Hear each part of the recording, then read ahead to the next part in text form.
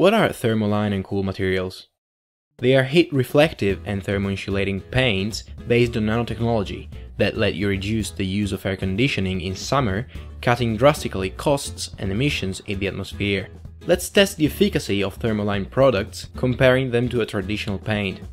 The model on the left was painted with thermogum, whereas the model on the right was painted with a traditional paint.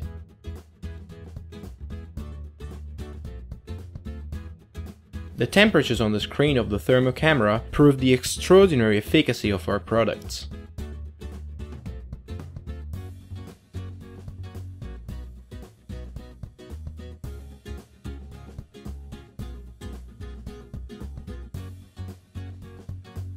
The low superficial temperature makes the internal temperature lower as well.